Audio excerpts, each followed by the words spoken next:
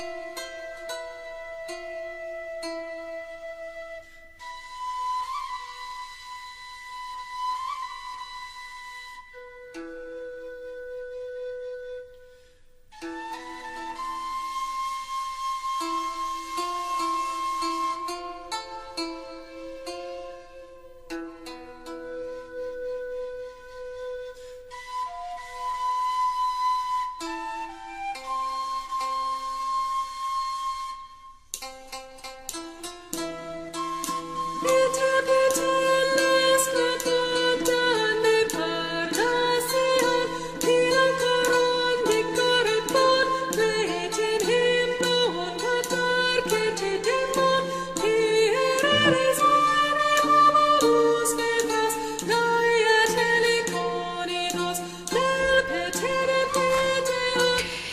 Συντονισμένοι στο New Radio διαδικτυακά, καλησπέρα και πάλι.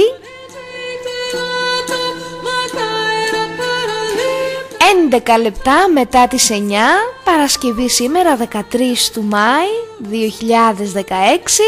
και εμείς είμαστε εδώ για ακόμα μία φορά στην εκπομπή μας Μύθου Οδός δεύτερος κύκλος.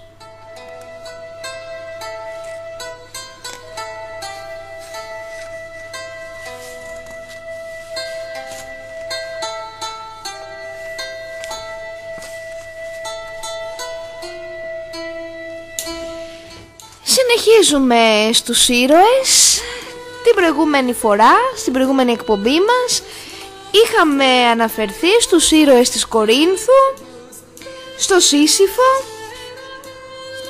Στη νίκη του Βελεροφόντη Στον Πίγασο Στις καλλιτεχνικές αναπαραστάσεις Και ξεκινάμε για τους ήρωες της Πελοποννήσου. Η Επίδαυρος και ο μύθος του Ασκληπιού. Άραγε Θεός ή ήρωας.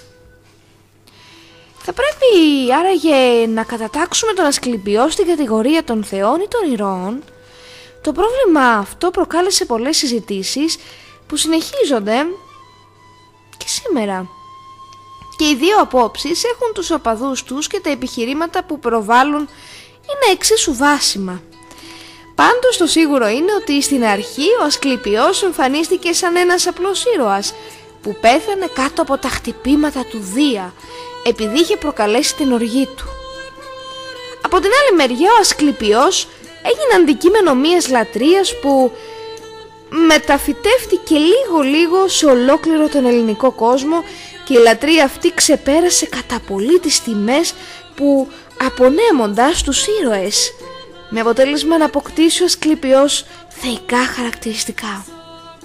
Τέλος, οι μύθοι που σχετίζονται με τη γέννησή του δεν είναι δυνατόν να διαφωτίσουν το πρόβλημα αυτό που είναι ένα από τα πιο ενδιαφέροντα της ελληνικής μυθολογίας γιατί κάθε μύθος τοποθετεί τη γέννηση του Ασκληπιού σε διαφορετική περιοχή.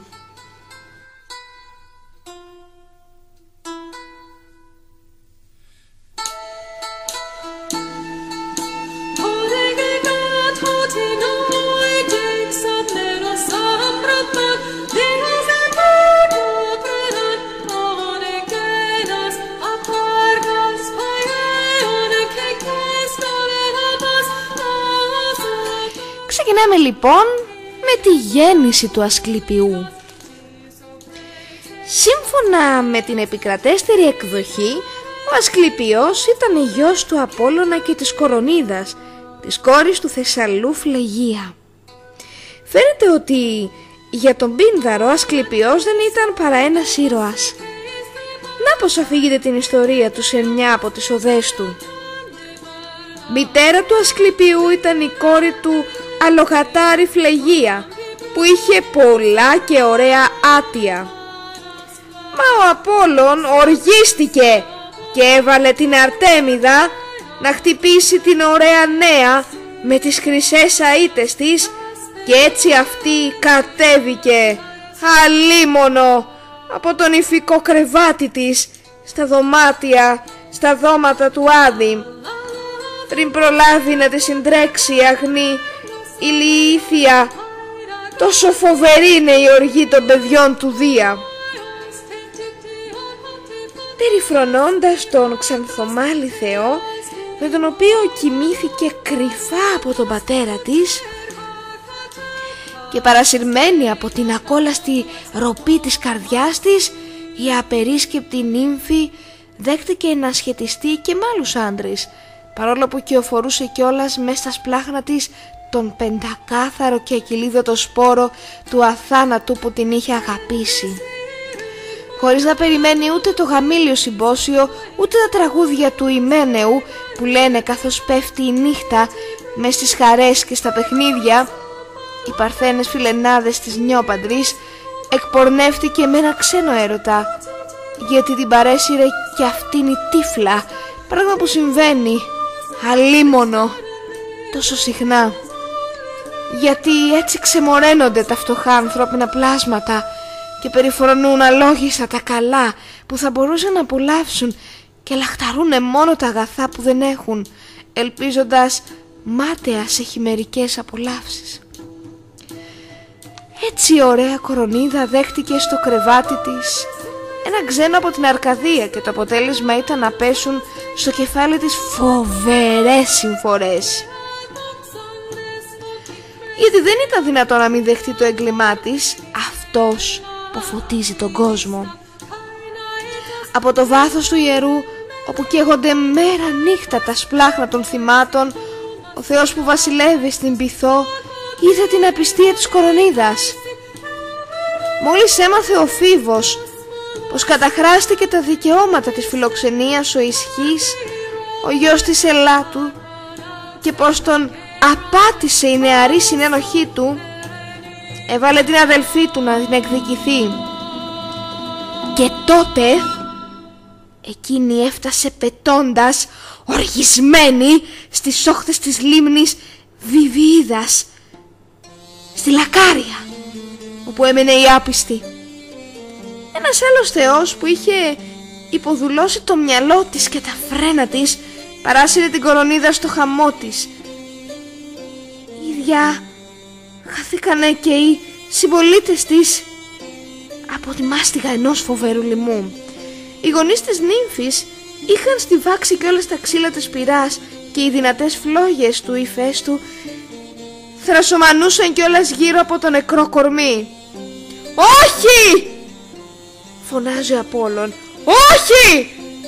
Δεν θα αφήσω να χαθεί ο καρπός του ερωτά μου και να πέσει θύμα της απιστίας της ένοχης μητέρας του!» Είπε και μόνο με μια δρασκελιά έφτασε στην πυρά. Ξάφνου η τρεμάμενη φλόγα σκίζεται στα δυο. Τότε ο Θεός τράβηξε και έβγαλε από τα άψυχα σπλάγνα της κορονίδας το γιο του ζωντανόν ακόμα.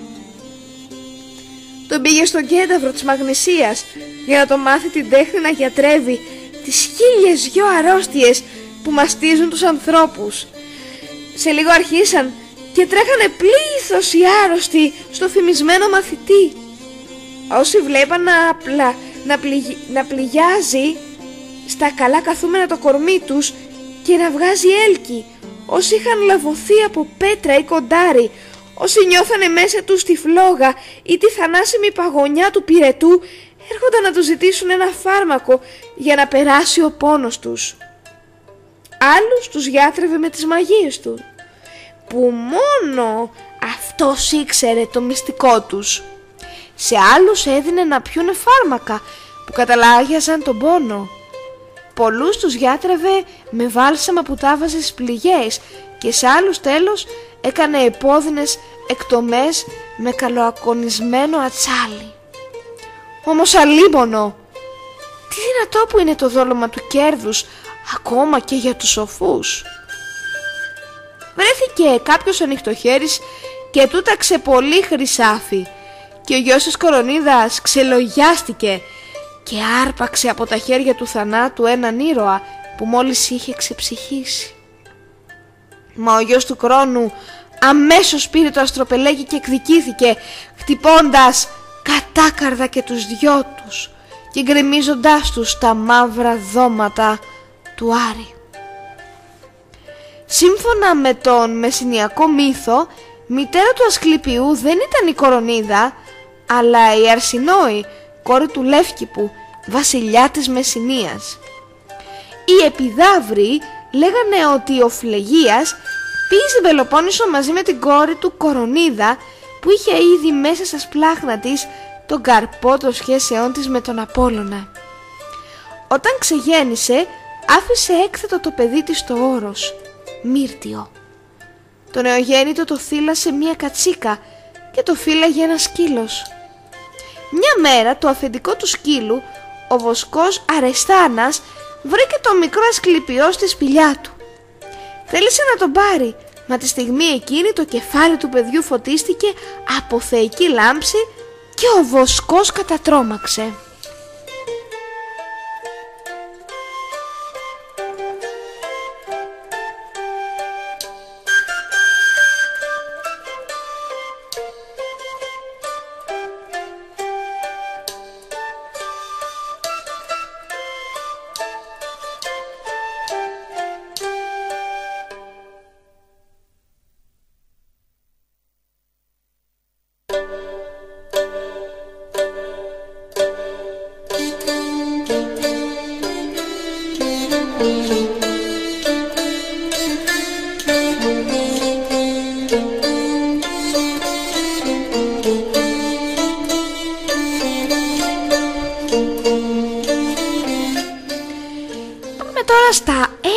κατατρώμαξε. του θανάτου του Ασκληπιού. Ο Κένταβρος Χείρον ανάθρεψε τον Ασκληπιό και του έμαθε όχι μόνο την κυνηγητική τέκνη, μα και την ιατρική. Ο Ασκληπιός, λέει ο Απολόδωρος ο Αθηναίος, έχοντας γίνει πολύ επιδόξιος στη χειρουργική τέχνη στην οποία εξασκήθηκε πολλά χρόνια, όχι μόνο έσωσε πολλούς ανθρώπους από το θάνατο, Μα ξαναζωντάνευε και νεκρούς. Η Αθηνά του είχε δώσει το αίμα που έτρεξε κάποτε από τις φλέβες της Γοργόνας και αυτός χρησιμοποιούσε το αίμα των φλεβών της αριστεράς πλευράς για να θανατώνει τους ανθρώπους και το αίμα για να θανατώνει τους, για να θανατώνει τους ανθρώπους και το αίμα της δεξιάς πλευράς για να τους διατρεύει. Με τον τρόπο αυτό ξαναζωντάνεψε τους νεκρούς. Να τι αφήγεται σχετικά ο Σέλτος, ο εμπειρικός που έζησε τον 3ο αιώνα μετά Χριστού. Οι ιστορικοί λένε ότι ο Ασκληπιός, ο δημιουργός της τέχνης, κεραυνοβολήθηκε. Αποδίδουν όμως ο καθένας του σε διαφορετικά αίτια αυτή την τιμωρία. Ο Στισίχωρος στην Ερυφίλη του λέει πως τιμωρήθηκε επειδή ξαναζωντάνεψε μερικούς πολεμιστές που είχαν σκοτωθεί μπροστά στη Θήβα. Ο Πολυανθής στην πραγματεία περί της καταγωγής του Ασκληπιάδων ανεφέρει ότι τιμωρήθηκε επειδή γιάτρεψε κόρες του Πρίτου που η Ήρα είχε πάρει τα συλλογικά τους. Ο Πανίασης λέει πως τιμωρήθηκε επειδή ξαναζωντάνεψε τον νεκρό την Δάρεο. Ο Στάφυλος στο έργο του «Η Αρκαδία» λέει ότι τιμωρήθηκε επειδή γιάτρεψε τον Υπόλοιπο τότε που έπεσε από το άρμα του φεύγοντας από την Τριζίνα όπως γράφουν οι τραγικοί και ο φύλαρχος στο ένα το βιβλίο του λέει πως τιμωρήθηκε επειδή ξανάδωσε το φως τους γιους του Φινέα που τους είχε τυφλώσει ο πατέρας τους και προσθέτει ότι ο Ασκληπιός καταπιάστηκε με αυτή τη θεραπεία για να κάνει το χατήρι της Κλεοπάτρας της μητέρας του που ήταν κόρη του Ερεχθέα. Τέλος ο Τηλέσαρχος στην ιστορία του Άργους έλεγε πως τιμωρήθηκε επειδή προσπάθησε να αναστήσει τον Ορίωνα. Ο Φερεκίδης, όπως αναφέρει ο σχολιαστής του Ευρυπίδη, έλεγε ότι τον κεραυνοβόλησε ο Δίας επειδή ξαναζωντάνευε αυτούς που πεθαίνανε στους Δελφούς. Τέλος, κατά το Διόδωρο το Σικελιώτη τιμωρήθηκε επειδή ο Άδης παραπονέθηκε στον Δία λέγοντάς ότι ο Ασκληπιός δεν άφηνε τους ανθρώπους να πεθάνουν. Όποια και να ήταν λοιπόν η αιτία του θανάτου του, φαίνεται ότι όλοι οι αρχαίοι συγγραφείς συμφωνούν σε ένα σημείο. Τον Ασκληπιό τον κεραυνοβόλησε ο Δίας. Προσθέτουν ότι ο Απόλλων θύμωσε όταν έμαθε το θάνατο του γιού του και σκότωσε τους κύκλοπες που είχαν δώσει τον κεραυνό στον κυρίαρχο του Ολύμπου. Ο Απολόδωρος λέει ότι ο Ασκληπιός έγινε θεός και ανέβηκε στα Ολύμπια δώματα ταυτόχρονα με τον Ηρακλή 53 χρόνια πριν από τον Τροϊκό πόλεμο.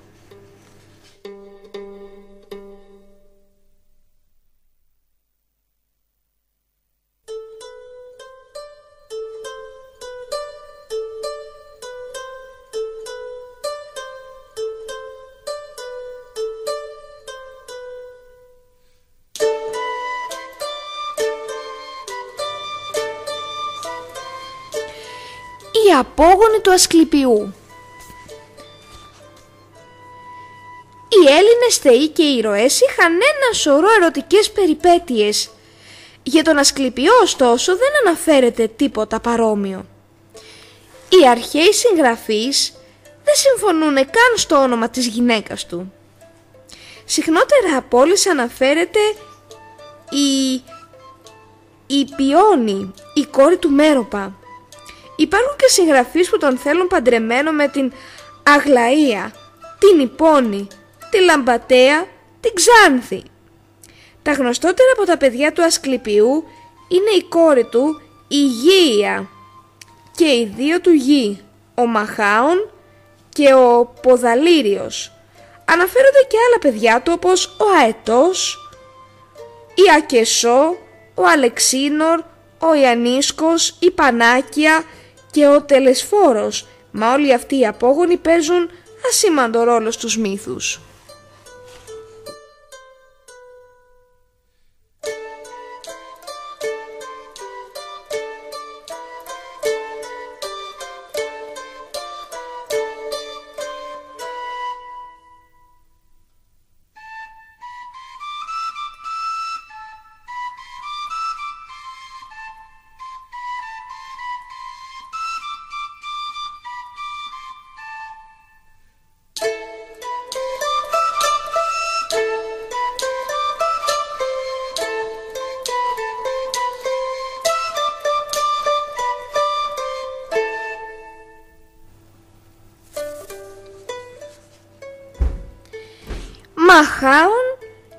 Και Ποδαλήριος. Οι δύο γη του Ασκληπιού Μαχάων και ο Ποδαλήριος μας είναι γνωστοί από την συμμετοχή του στον Τροϊκό Πόλεμο. Στο σχετικό χωρίο της Ηλιάδας διαβάζουμε το εξής.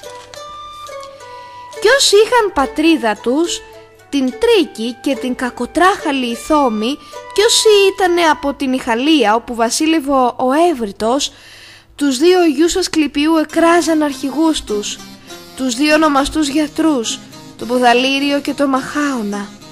Και αυτούς τριάντα γουβωτά καράβια τους ακολουθούσαν. Σε άλλο χωρίο ο Όμηρος αναφέρει ότι ο Αγαμέμνων είπε να φωνάξουν τον Μαχάωνα για να περιποιηθεί τον Μενέλαο. Είπε και τον Ταλφίδιο πρόσταξε το σεβαστό διαλάλι Ταλθίβιε, το μαχάωνα φώναξε και μην αργείς καθόλου. Τον Ασκληπιό που έχει τον άψεγο τον γιατρευτή πατέρα, τον γιο του Ατρέα, τον πολεμόχαρο Μενέλαο να κοιτάξει. Δοξαρευτή στρανός τον χτύπησεν απ' τους λυκιώτες κάποιος. Για και απ' τους τρώες για εκείνον κάφκιμα καημός για μας μεγάλος. Κι ως έφτασαν εκεί που εστέκουνταν στη μέση ο λαβωμένος, ξανθός Μενέλαος και τον έζωναν οι πιο τρανοί ριγάδες. Ευτής ο ισόθεος ήρωας έτρεξε και στάθη ανάμεσά τους και από το σφιχτό ζωνάρι ετράβηξε με βιάση τη σαγίτα.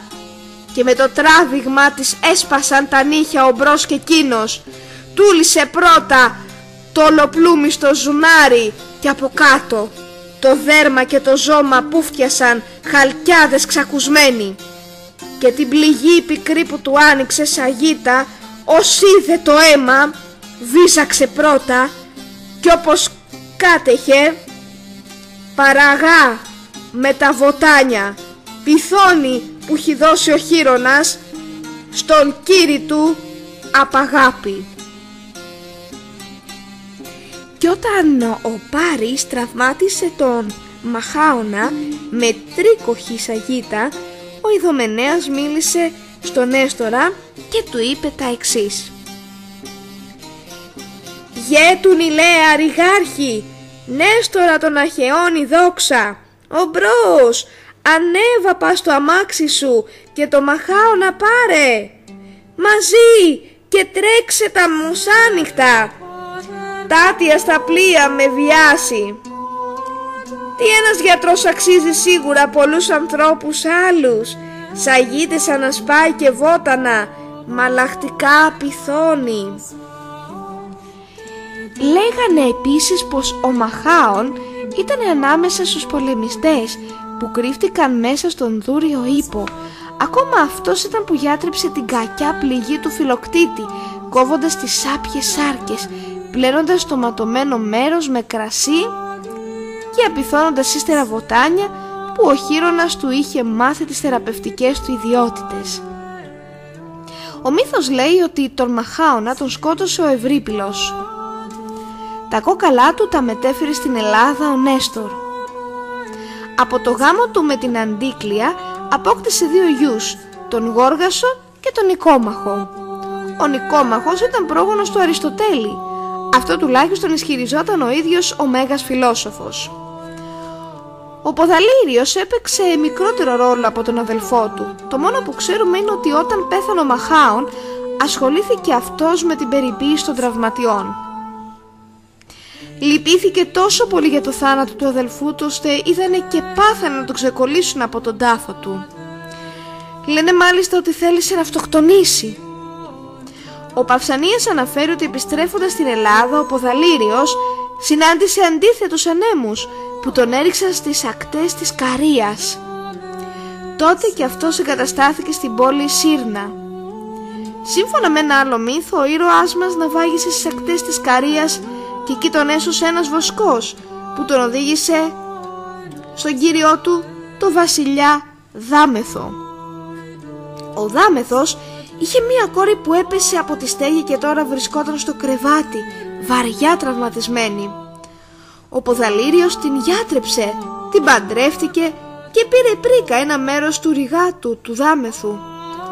Ίδρυσε την πόλη Σύρνα, έτσι λεγόταν η γυναίκα του, και την πόλη Βίβασο, έτσι λεγόταν ο βοσκός που τον είχε συντρέξει.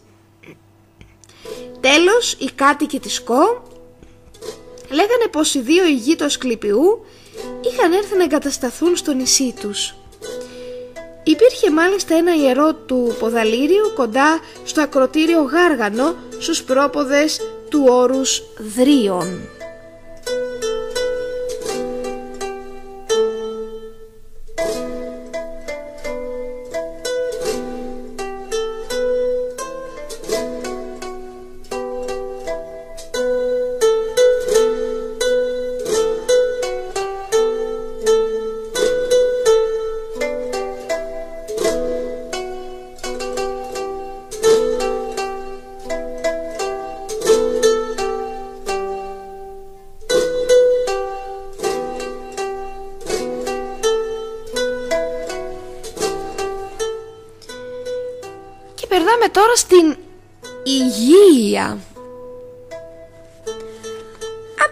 Από τις κόρες του Ασκληπίου, αυτή που παίζει τον σπουδαιότερο ρόλο είναι η υγεία, η θεά της υγείας, που σύμφωνα με τη γενικά παραδεγμένη άποψη δεν είναι παρά η προσωποποίηση μιας αφηρημένης ιδέας.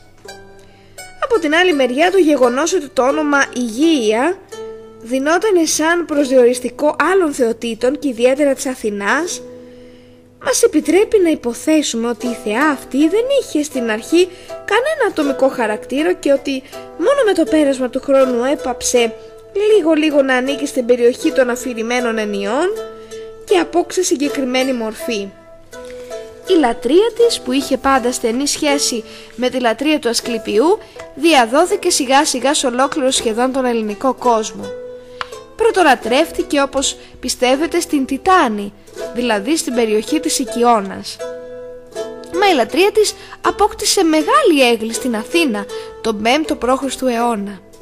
Λατρευόταν επίσης στην Κόρινθο, στην Επίδαυρο, στην Τεγέα, στη Μεγαλόπολη, στη Μαντίνια, κτλ. Στην Ίσο Κο, στην Πάρο, στην Πέργαμο καθώς και στη Μεγάλη Ελλάδα. Όταν θεωρήθηκε οριστικά κόρη του Ασκληπιού, απόκτησε και αυτή το ίδιο σύμβολο, δηλαδή ένα φίδι. Όπως θα πούμε παρακάτω, η υγεία αποτέλεσε θέμα πολλών καλλιτεχνικών αναπαραστάσεων που οι περισσότεροι σώζονται ακόμα μέχρι και σήμερα.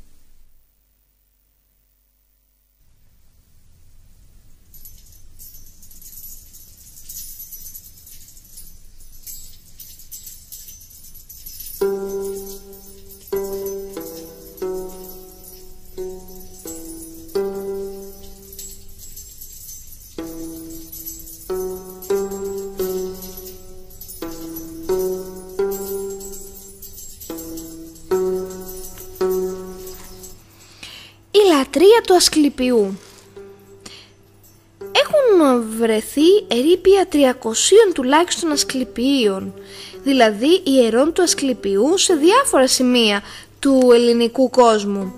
Πριν γίνει θεός της ιατρικής, ο γιος του Απόλλωνα θεωρήθηκε ότι είναι μια θεότητα που κατήχε κυρίως μαντικές ικανότητες. Είχε δηλαδή, ήταν δηλαδή σε θέση να δίνει χρησμούς. Άλλος το Ασκληπιό συνέχισε να δίνει τις συνταγές του με μορφή χρησμών στους πολυάριθμους πιστούς του που έρχονταν να τον οικετέψουν να τους θεραπεύσει από τις αρρώστιες του. Μήπως ο Ιπποκράτης δεν έγραψε ότι η ιατρική και η μαντική είναι ετεροθαλείς αδελφές γιατί και οι δύο αυτές επιστήμες έχουν τον ίδιο πατέρα τον Απόλλωνα. Ο Μποσέλε Σέρκ είχε δίκιο όταν έλεγε όπως ακριβώς ο Απόλλων είναι προφήτης του Δία, η φωνή που χρησιμοποιεί ο κυβερνήτης του κόσμου για να αναγγείλει στους νητούς τις επιταγές της μοίρας και τους κανόνες συμπεριφοράς τους, έτσι και ο Ασκληπιός είναι ο απεσταλμένος του Απόλλωνα, ο αντικαταστάτης του στο έργο της Αποκάλυψης, μόνο που ο Θεός του εμπιστεύτηκε την πιο χιδαία εργασία, δηλαδή τη θεραπεία των ασθενειών του σώματος. Ποια ήταν η διαδικασία της ιατρικής αποκάλυψης που εφαρμόζανε στους ναούς του Ασκληπιού; Πρέπει να κάνουμε διάκριση ανάμεσα σε αυτή την καθαυτό αποκάλυψη και σε εκείνο που θα μπορούσαμε να ονομάσουμε υπηρεσία ιατρικών συμβουλών. Υπηρεσία που την ασκούσε μια ειδική κατηγορία ατόμων, οι Ασκληπιάδες, που ισχυρίζονταν πως ήταν απόγονοι του Μαχάωνα και του Ποδαλήριου και άρα του Ασκληπιού. Ήταν πραγματικά μία συντεχνία που τα μέλη της λέγανε πως είναι οι θεματοφύλακες μίας επιστήμης που αποτελούσε μέρος της οικογενειακής τους κληρονομιάς και που ορκιζόνταν να μην την αποκαλύψουν στους αμύητους. Όμως, όσο πληθαίνανε τα ασκληπία, τόσο μεγάλωνε ο ρόλος της ιατρικής αποκάλυψης, ενώ ταυτόχρονα μειωνόταν ο ρόλος των ασκληπιάδων.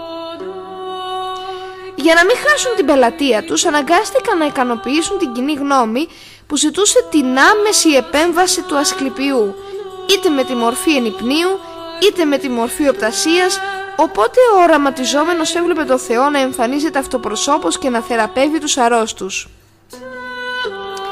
Η διαδικασία αυτή προκάλεσε τα χλεβαστικά σχόλια των σκεπτικιστών. Ένα χωρίο από τον ε, πλούτο του Αριστοφάνους απηχεί αυτή την ε, σκοπτική διάθεση. Ο Θεός έκανε το γύρο του ναού εξετάζοντας με μεγάλη σοβαρότητα όλους τους αρρώστους. Ύστερα ένας δούλος τοποθέτησε μπροστά του ένα πέτρινο γουδί, ένα γουδοχέρι και ένα κουτί. Βάλθηκε πρώτα απ' όλα να κοπανάει μια αληφή για το νεοκλίδι. Έριξε στο γουδί τρία κεφάλια σκόρδο της τίνου που τάσπασε με το γουδοχέρι προσέδοντας χυμό από σύλφιο και θαλασσινό κρεμμύδι και ύστερα τα διέλυσε όλα αυτά με ξύδι και άλυψε τα βλέφαρα του άρρωστου. Αναστρέφοντάς τα κιόλας για να τον κάνει να πονέσει περισσότερο. Ο άρρωστος έβαλε τις φωνές και ούρλιαξε, πετάχτηκε απάνω και έκανε να φύγει. Μα ο Θεός του είπε γελώντας «Κάτσε εδώ με την αλεφή σου. Δεν έχω καμιά όρεξη να πας να βγάλεις λόγο στην εκκλησία του Δήμου». Ύστερα από αυτό έκατσε δίπλα στον πλούτο. Και πρώτα απ' όλα του άγγιξε το κεφάλι και ύστερα έχοντας πάρει ένα καθαρό πανί του σκούπισε τα βλέφαρα γύρω γύρω και η Πανάκια, δηλαδή η κόρη του Ασκληπιού, τους σκέβασε το κεφάλι και το πρόσωπο με ένα πορφυρό πέπλο. Ο Θεός φύριξε και αμέσως ξεπετάχτηκα μέσα από το ναό δύο τεράστια φίδια. Γλιστρήσανε κάτω από το πορφυρό πέπλο και του γλύψανε, αν δεν κάνω λάθος, τα βλέφαρα και πριν προλάβεις να πιείς δέκα κούπες κρασί ο πλούτος σηκώθηκε όρθιος και έβλεπε πια σαν ανοιχτομάτης. Εγώ χειροκρότησα από τη χαρά μου και ξύπνησα τον Κύριό μου. Αμέσως ο Θεός εξαφανίστηκε μέσα στο ναό μαζί με τα φίδια. Αν έπαιρνε κανείς κατά γράμμα την ηρωνία του Αριστοφάνη θα κατέληγε σίγουρα στο συμπέρασμα πως οι Ασκληπιάδες δεν ήταν παρά τσαρλατάνοι και αυτή ακριβώς ήταν η γνώμη ορισμένων επιστημόνων. Ωστόσο θα μπορούσε ίσως να πει κανείς το ίδιο βάσιμα ότι η ιατρική των Ελλήνων έχει θεραπευτική καταγωγή. Η ναή του Ασκληπιού ήταν τα πρώτα νοσοκομεία και οι ιερείς του οι πρώτοι γιατροί. Πολλά από τα ιερά του είχαν χτιστεί σε υγιεινές τοποθεσίες, σε αρκετά ψηλές κορυφές μέσα σε δάση και ορισμένα από αυτά βρίσκονταν κοντά σε ιαματικές πηγές. Έτσι θα μπορούσαμε σχεδόν να τα συγκρίνουμε με τα σημερινά μας σανατόρια. Πριν μπει στο ασκληπιείο έπρεπε πρώτα να καθαριστείς κάνοντας λουτρό που συνοδευόταν και από εντριβές, επαλήψεις ή θυμιάσεις για να απαλλάξουν τους ασθενείς από τα θλιβερά θεάματα είχαν απαγορεύσει στους ετοιμοθάνατους και στις επίτοκες γυναίκες να μπαίνουν στο ναό της Επιδάφρου. Μετά το λουτρό έπρεπε να κάνεις μία θυσία στον Ασκληπιό. Συνήθως φάζανε ένα κόκορα. Αναφέρονται όμως και θυσίες γουρουνιών ή κατσικιών. Στην Αθήνα προσφέρουν στο Θεό άρτους, ξερά σίκα και καίγανε στο βωμό ένα στερένιο γλύκισμα. Οι ιερείς διαβάζαν προσευχές που τις ξανάλεγαν οι παριστάμενοι.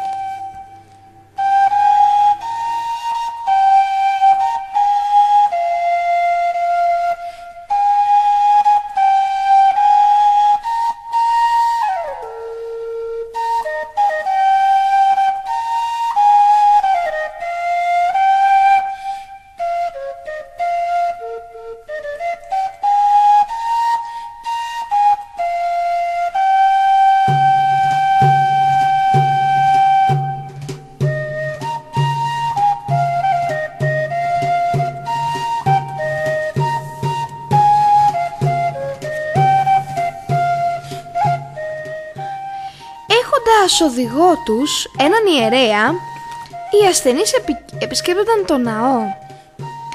Μερικά από αυτά τα ιερά, όπως σε επιδάβρου λόγω χάρη, ήταν γεμάτα αναθήματα, πολλά φτιαγμένα από πολύτιμα μέταλλα, που κατά γενικό κανόνα παριστάναν ένα μέλος του ανθρώπινου σώματος. Ήταν το μέλος που γιατρεύτηκε στο ναό. Τέλος, αφού υποβάλανε τον άρρωστο σε μία λίγο ή πολύ αυστηρή δίαιτα, του επιτρέπανε να κοιμηθεί τη νύχτα στο ναό ή μάλλον σε ένα συνεχόμενο παρεκκλήσι. Κατά τη διάρκεια αυτών των διανυκτερεύσεων που κοστίζανε τόσο πιο ακριβά όσο πιο κοντά στο άγαλμα του ασκληπιού κοιμόσουνα περίμενες να εμφανιστεί ο Θεός στο όνειρό σου και να σου υποδείξει το φάρμακο που έπρεπε να πάρεις. Όταν σκοτίνιαζε για καλά Σβήνανε όλα τα λιχνάρια και λέγανε στους άρρωστους να μην φοβηθούν. Ό,τι και αν δουν και να μην βγάλουν λέξη, όποιο θόρυβο και αν ακούσουν. Αν το όνειρο που περίμενες δεν ερχότανε, μπορούσες να επαναλάβεις το πείραμα πολλές νύχτες, συνέχεια. Από μία ορισμένη εποχή και ύστερα απλοποιήσανε μάλιστα αρκετά αυτή τη διαδικασία. Αντί να κοιμούνται οι ασθενείς στο ναό, μπορούσαν να αναθέσουν αυτή τη δουλειά στους ιερείς που ήταν εξουσιοδοτημένοι να βλέπουν όνειρα. Τα όνειρά τους ήταν τελείως συμβατικά και τα φάρμακα που συνιστούσαν ήταν κατάλληλα για την κάθε περίπτωση για τον απλούστατο λόγο ότι οι ιερείς είχαν εξετάσει από πριν τον άρρωστο και ξέρανε από τι πάσχει. Τέλος καταφεύγανε και σε αυτό που θα μπορούσαμε να το ονομάσουμε μεγάλο κόλπο. Δηλαδή στην άμεση επέμβαση του Ασκληπιού που εμφανιζόταν αυτοπροσώπος.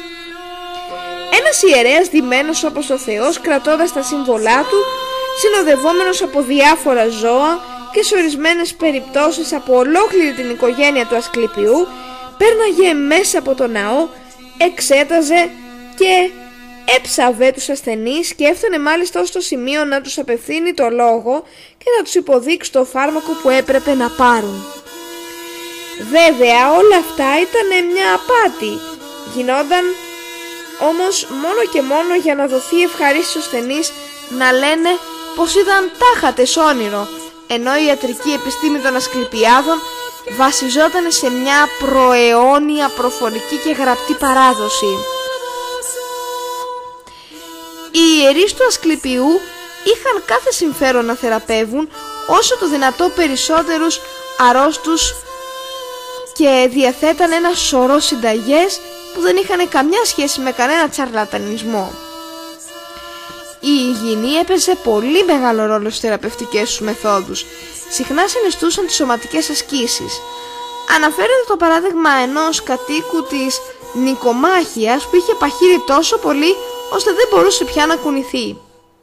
Ο Ασκληπιός του είπε να κάνει νηστικός δύσκολη γυμναστική και θεραπεύτηκε. Στις περιπτώσεις των διανοητικών ανομαλιών συνιστούσαν τις διασκεδάσεις και για αυτό το σκοπό το Ασκληπείο της Επιδαύρου διέθετε και θέατρο. Οι Ασκληπιάδες αποφεύγανε κατά γενικό κανόνα τις δημιουργικές επεμβάσεις και περιορίζονταν να δίνουν σχετικές συμβουλές. Φυσικά δεν μπορούμε να πιστέψουμε αυτά που αφηγείται ένας Έλληνας συγγραφέας του 3ου αιώνα ο Ελιανός. Μία γυναίκα έπασχε από ταινία και οι καλύτεροι γιατροί δεν είχαν καταφέρει να τη θεραπεύσουν. Τότε αυτή πήγε στην επίδευρο να συμβουλευτεί τον Ασκληπιό. Ο Θεός απουσίαζε και οι ιερείς που λέγανε ότι τον αντικαθιστούν ξαπλώσανε τη γυναίκα στο ίδιο μέρος όπου έκανε ο Ασκληπιός τις θεραπείες του, της κόψανε λοιπόν το κεφάλι και ένας από τους χειρούργους έχωσε το κεφάλι του βαθιά ως την κοιλιά της και έβγαλε από μέσα το σκουλίκι που θα μένες με το στόμα ανοιχτό θα μένες με το στόμα ανοιχτό αν έβλεπες τι μεγάλο ήταν. Θέλησαν ύστερα να ξαναβάλουν το κεφάλι στη θέση του, μα δεν τα κατάφεραν. Την ώρα εκείνη γύρισε ο Ασκληπιός, τους μάλωσε για την απερισκεψία τους. Ξανά βάλε ο ίδιος το κεφάλι στον κορμό και έστειλε τη γυναίκα σπίτι της τελείως καλά στην υγεία της. Με δύο λόγια οι Ασκληπιάδες εξασκούσαν μια ιατρική σοβαρή και ορθολογιστική που περιβελόταν από ένα θαυματουργό φωτοστέφανο που την έκανε αποτελεσματικότερη. Όπως λέει και ο Μπουσέλε Σέρκ, μέσα σε αυτά τα πρατήρια φαρμάκων διαμορφώθηκε κάτω από τον ίσκιο της θρησκείας μια ιατρική παράδοση.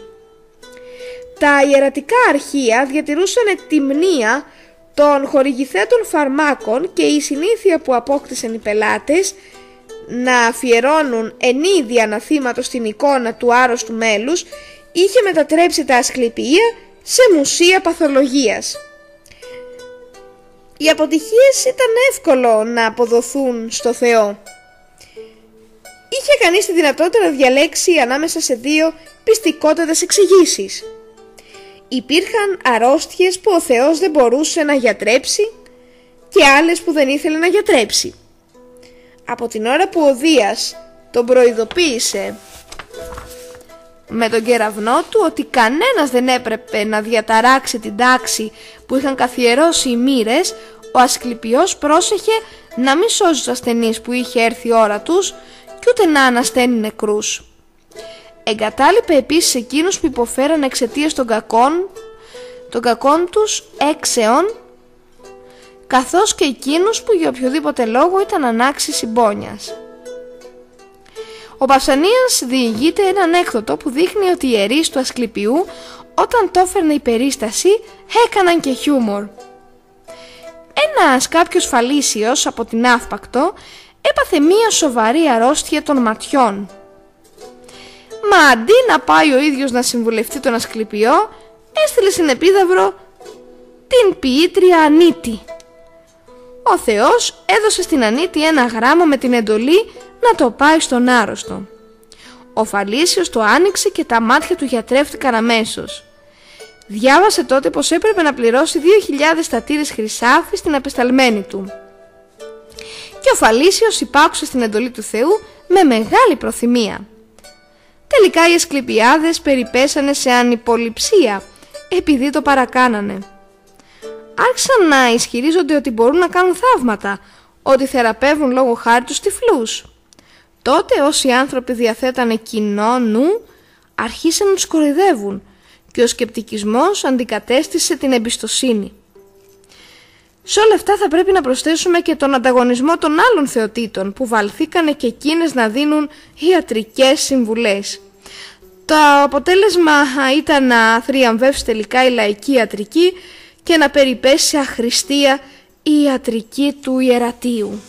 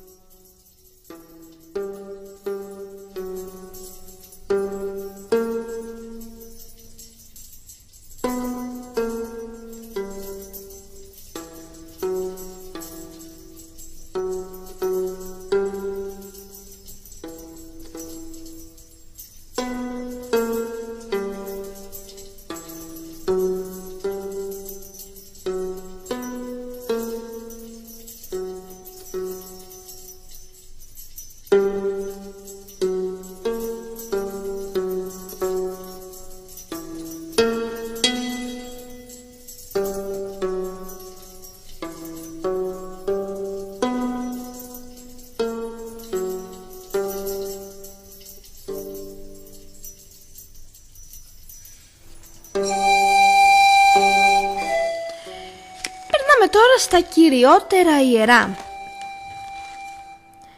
Το ασκληπείο της Επιδαύρου δεν ήταν το αρχαιότερο του είδους του. Ήταν όμως το πιο φημισμένο. Έχουμε ήδη αναφέρει τους μύθους που σχετίζονται με αυτό. Για να κάνουν τους μύθους πιο πιστευτούς οι Επιδαύροι επικαλέστηκαν το μαντίο των Δελφών. Η πυθή απάντησε ότι ο Ασκληπιός ήταν Επιδαύριος από μητέρα. Ο ναός δεν βρισκόταν μέσα στην πόλη, μα σε απόσταση δύο ώρες δρόμο με τα πόδια, στους πρόποδες του όρους Τριθίου. Η ανοιχτοχεριά των πιστών που γιάτρεψε ο Θεός είχε μεταβάλει την κοιλάδα σε έναν υπέροχο κήπο. Τα ναΐδρια, η βωμή, τα αγάλματα, οι αναθηματικές στήλες πιστοποιούσαν τα θαύματα που είχαν γίνει και σου επιτρέπανε να ελπίζεις ότι θα γιατρευτείς κι εσύ. Ο Πολύκλητος έκτισε εκεί ένα θέατρο και κάτω από το μεγάλο πλάτωμα είχε κατασκευαστεί ένα στάδιο όπου γίνονταν οι γιορτές του Ασκληπιού. Μέσα στο ναό υπήρχε ένα χρυσελεφάντινο άγαμα του Θεού, έργο του Θρασιμίδη, του Πάριου. Υπήρχε και ένα συνεχόμενο κτίσμα όπου κοιμόντουσαν οι ασθενείς, περιμένοντας να δουν το όνειρο που θα τους έστελνε ο Θεός. Η Επίδαυρος είχε πολλά υποκαταστήματα μεταξύ των οποίων θα πρέπει κυρίως να αναφέρουμε τα ασκληπιεία των Αθηνών, της Σκός και της Περγάμου. Γνωρίζουμε πότε ακριβώς άρχισε να λατρεύει το Ασκληπιό στην Αθήνα. Αυτό συνέβη το 421 π.Χ μέχρι το τέλος του 5ου αιώνα. Λέει ο Φουκάρτ, οι Αθηναίοι δεν είχαν μία ειδική θεότητα της ιατρικής. Σε περίπτωση ανάγκης απευθύνονταν στους άλλους θεούς που είχαν φυσικά την ικανότητα να θεραπεύουν ή ακόμα σε θεότητες δεύτερης κατηγορίας λόγω χάρη στον ήρωα ιατρό που ήταν μία μορφή μάλλον ασήμαντη. Μια και δεν είχε ούτε ιστορία ούτε όνομα δικό της καν ή απευθύνονταν στο μαθητή του Χίρονα, τον Άλκονα, που η ιερέας του ήταν ο Σοφοκλής. Για ένα μεγάλο χρονικό διάστημα οι Αθηναίοι βολεύονταν με αυτούς τους δευτερότερους προστάτες. Μα ο λοιμός το 431 απόδειξε την ανεπάρκειά τους και μόλις ξανά άνοιξαν οι δρόμοι της Πελοποννήσου μετά την ειρήνη του Νικία η δημοκρατία απευθύνθηκε στο Θεό της Επιδαύρου. Οι θεραπείες ή μάλλον τα θαύματά του που τα εξιστορούσαν διάφορες επιγραφές μέσα στο ναό είχαν συντελέσει στη διάδοση της φήμης του και έρχονταν άνθρωποι από όλες τις γωνιές του ελληνικού κόσμου να το συμβουλευτούν και να τον οικετέψουν. Ο Ασκληπιός δεν απόρριψε την παράκληση των Ανθιναίων και πήγε στην πόλη τους. Όμως μη έχοντας ακόμα δικό του ιερό στην πόλη, ο Θεός φιλοξενήθηκε στο σπίτι του Σοφοκλή. Ο ποιητής του έχτισε ένα βωμό και αργότερα σύνθεσε προς τιμή του έναν πεάνα που εξακολουθούσαν να τον τραγουδάνε και στα χρόνια του φιλόστρατου.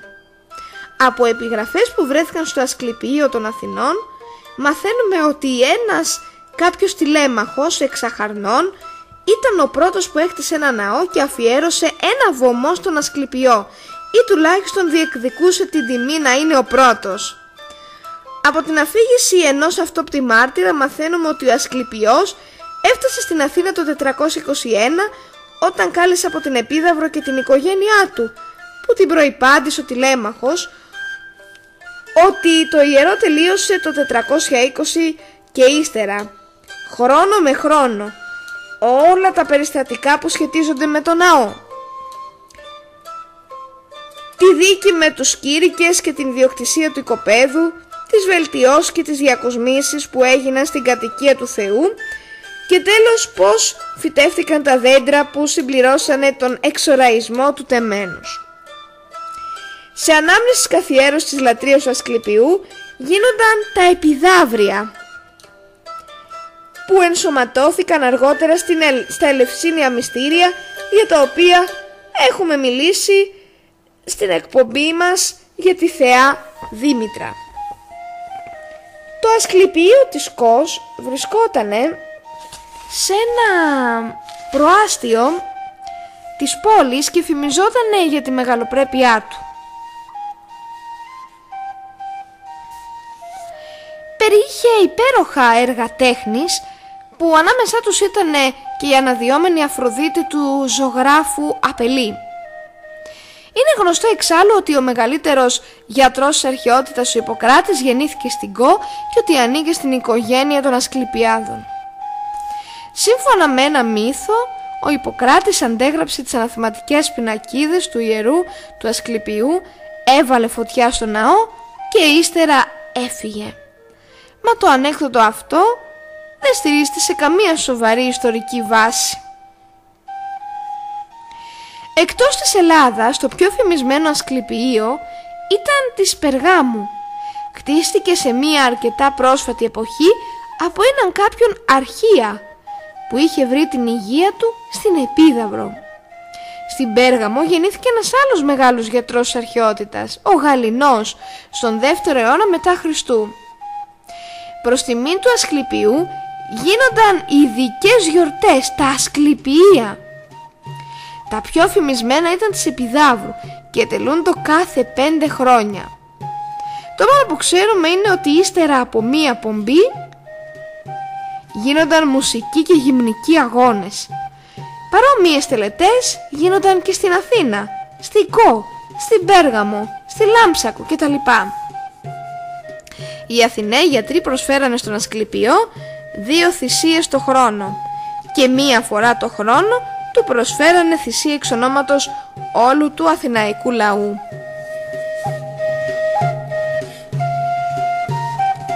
Κάπου εδώ ολοκληρώνουμε και για απόψε την εκπομπή μας Μύθου Οδός. Θα συνεχίσουμε την επόμενη Παρασκευή, τη μεθεπόμενη μάλλον, με τα σύμβολα του Ασκληπιού, καλλιτεχνικές αναπαραστάσεις και θα πάμε, θα περάσουμε στους μύθους για τους ήρωες της Αργολίδας οι Δαναίδες, οι Πέρσε, ο Πέρσε, ο Πέρσευς, ο Πέλοψ, οι Αντρίδες, ο Ίναχος